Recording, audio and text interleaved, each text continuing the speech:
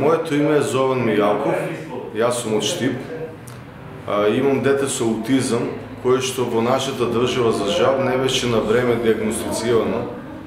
Првата диагноза е најбитна и тоа на најмала возраст. Значи тоа се изостави кај моето дете, кога веќе беше 6 години установивме дека е со аутизам. Предходно ни кажува дека нешто со нас не е во ред, детето е добро Нашите деца со аутизам убаво изгледаат, убави деца се, меѓутоа не зборуваат. Значи, со многу мала обука може да се да обучен доктор или педијатар може да знае за што станува збор. Потоа настана голготата за примање во градинка. Значи, не ти го примаат детето во градинка, ако ти го примаат дискриминирано. Па го теваат едниот родител да биде присутен во градинката. Со години се борив боревме да се отвори центар во Штип за аутизам. Се отвори еден вид на паварелка во една школа во која што паварелка некако функционира, ама со, беше само со една дефектовка. Таму него пробавме да го запишеме во, нели, државата понуди инклузија. Решивме ајде да пробаме да го инклузиваме детето. Го прими, значи на на на два на единствено човечноста на логопедката тогаш да учи да ни го примат детето, меѓутоа не беше примено од наставничката. Со ромчињата во, во училиште во кое што има ромски деца беше примено моето дете, во другите училишта не сака, го примија таму, беше ставано со, во посредните групи со ромчињата, И за наша среќа па момчињата бидејќи дискриминирани осетија дека е дискриминиран, па тие го прифатија. Меѓутоа, мојата сопруга не издржа, издржа две години омаловажување од наставничката. Институциите не дадоа резултати. Значи се и потоа се разбира детето ни беше дома. Почнавме борба за да се отвори центар. Да се отвори еден вид на центар кој што го ставија во приградска населба, физички оддерена од нашиот град. Се отвори центарот, како да се каже дека ќе се отвори со необучен кадар. Значи, јас сум задоволен од другото таму, меѓутоа не се обучени, не знаат што да работат со нашите деца и наместо да биде рехабилитационен центар, го таму е само како примено детето. Ништо не добива таму.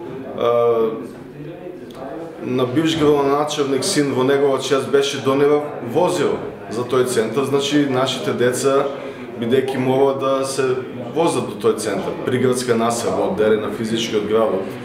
Меѓутоа, тоа возило не се искористи за нашите деца.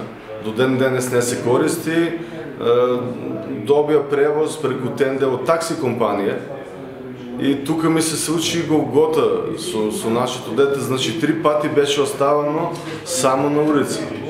Првиот пат со полиција, сега посредниот пат кога почна, ни почна кампањата, иницијативата 5 до 12, во која што споивме 47 здруженија на ниво на Македонија, која што е повеќе јазична, значи се обединивме сите. Одевме од градови на градови да ги убедиме луѓето дека мова заедно. И им рековме, гледате како е, има здруженија, има сојузи, меѓутоа нема резултати. Нешто недостасува, дај да пробаме да се обединиме. И почнавме да се обединуваме, значи вториот камп кога ни беше во Скопје, после вториот камп, утредента дето по трет пат ми беше оставено на улица, одговорот што го добивме беше дека детето не е физички повредено, затоа никој не би требало да сноси одговорност. А психички, психичкото е, страв на детето толку не се рачува. Тоа е дете со посебни потреби и во ова наше општество уште не е прифатено и не е...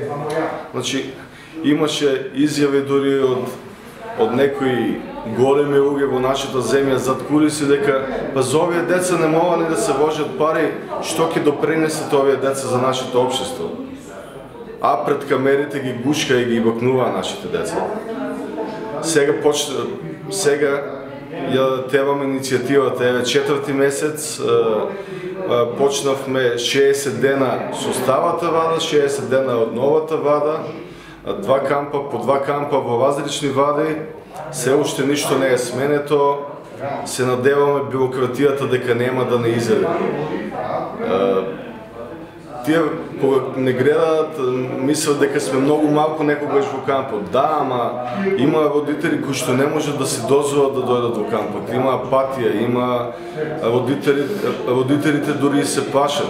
Значи, во нашето општество гледаш да не да не е некој горем човек да не му врезеш во око. Така да ние кои што немаме што да изгубиме родителите и кои што решивме да се бориме до крај за нашите деца се бориме. Ја привикуваме целата јавност да не се приклучи и горен потник ни беше за 5 дена што собавме над 35.000 подписи од граѓани. сега иницијативата ќе добие форма на подпишуваме меморандуми дури и со обични граѓани за да влезат во иницијативата, бидејќи никогаш не се знае, ние се бориме за идните генерации, не само за нашите. Се бориме и за и за децата на некои пратеници актуелни што дома го имаат проблемот да се кријат. Се надеваме дека ќе гласаат за нашите закони. Тие закони за да никој не може да земе политички поени, ние решивме дел од тие закони со уставно загарантираната форма иницијатива и со подписи да поднесеме закони во собранието и се надеваме прв пат на 120 гласови, бидејќи тоа е за идните генерации.